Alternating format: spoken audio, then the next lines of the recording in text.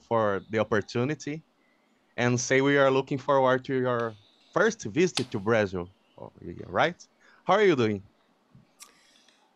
I'm uh, very good. I'm excited because, like you said, I'm coming to Brazil and I'm coming to South America with my guys with Battle Beast. And this is a very historical moment for our band because we have never been uh, in South America. We have visited uh, Mexico in uh, like few years back, but we haven't really got to South America to tour.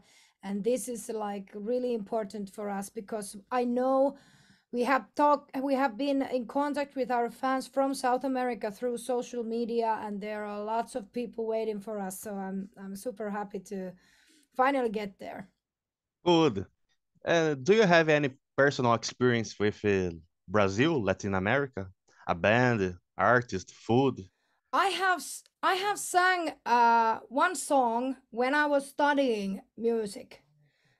Uh, and it goes like something like this has been okay this has been like uh, over 10 years ago but it went like brazil meu brazil brasileiro, brasileiro. like uh, something like that and I, I remember that and i really like like that song still i'm like but I, and i really uh, like i'm i'm just so excited to get there and get to know your culture and your people and your food and everything.